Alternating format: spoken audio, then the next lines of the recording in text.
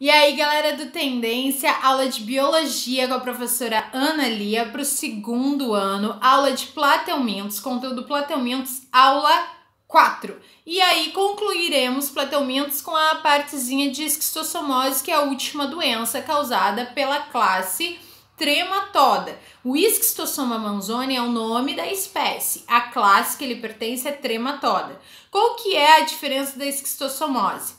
A gente viu ali que na teníase existia um ciclo do hospedeiro intermediário definitivo, que poderia ser ou o boi ou o porco. O boi era a tênia saginata e o porco a tênia sólio.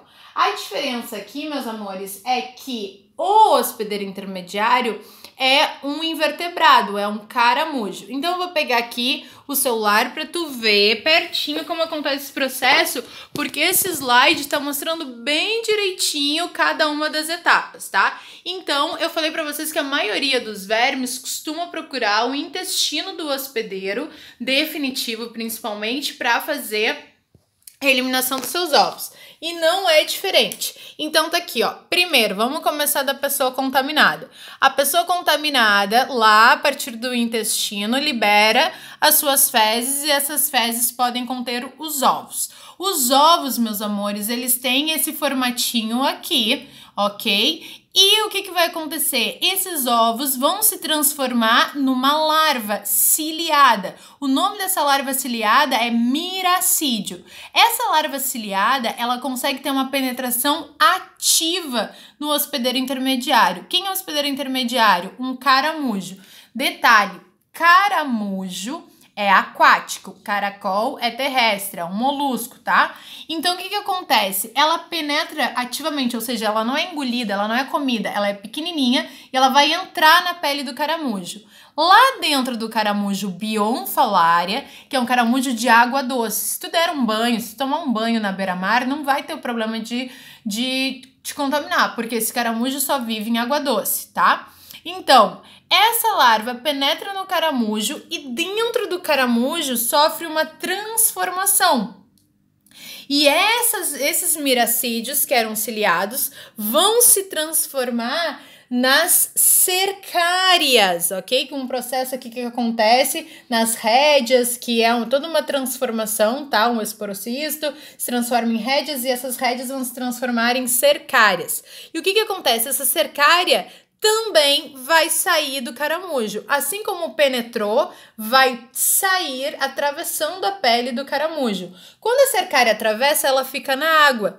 E essa cercária tem a capacidade de penetrar na pele de qualquer ser humano que esteja nadando ou simplesmente com seus pezinhos nessa água. Então, nesse caso aqui, eu não preciso me alimentar de nada. É só entrar numa água com fezes contaminadas, tá? Com os ovinhos e que tem o caramujo para poder concluir esse ciclo. E concluindo esse ciclo, surge a cercária. A cercária penetra na pele humana. Penetrando na pele humana, ela vai invadindo os tecidos, invadindo os tecidos, até chegar no fígado da pessoa. Local onde ela vai se encontrar não é o adulto, não é no intestino, é no fígado.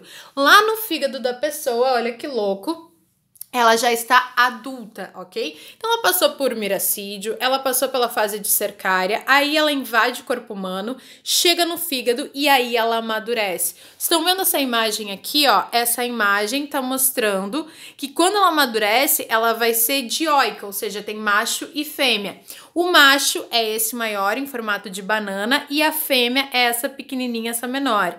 A fêmea, ela fica dentro do abdômen do macho o tempo todo copulando, fazendo sexo o tempo todo com ele e nessa cópula, isso é uma fotografia real, tá? E nessa cópula ela fica produzindo ovos. E o que, que vai acontecer? Vai causar um super inchaço nesse fígado doente e os ovos produzidos dessa relação sexual, existe uma ligação porta-hepático entre o fígado e o intestino. Então, esses ovos são produzidos no fígado, mas por essa ligação de vasos sanguíneos caem no intestino e aí conclui o ciclo. Qual é o detalhe, meus amores? Quais são os sintomas dessa doença? Além de muita dor abdominal, enfraquecimento, vai acontecer um super inchaço na barriga, porque esse fígado vai estar tá doente e além de o fígado estar inchado, ele uh, bloqueia os vasos de linfáticos principalmente, então os líquidos chegam no abdômen e não conseguem sair.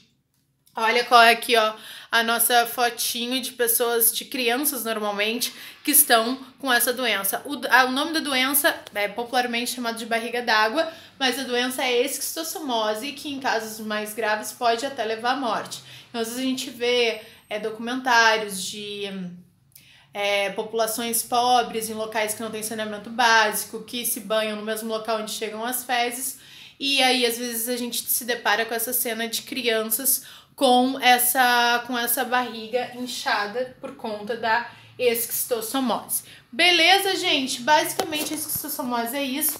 O que mais tem que saber, basicamente, é o hospedeiro intermediário, que é um caramujo bionfalária de água doce, ok? E que a profilaxia é tratamento sanitário, né? Educação sanitária e tratamento nessas regiões que não tem e se você for viajar para algum lugar que não conhece, nunca entrar numa água que por acaso você suspeite que possa ter contato com o esgoto humano.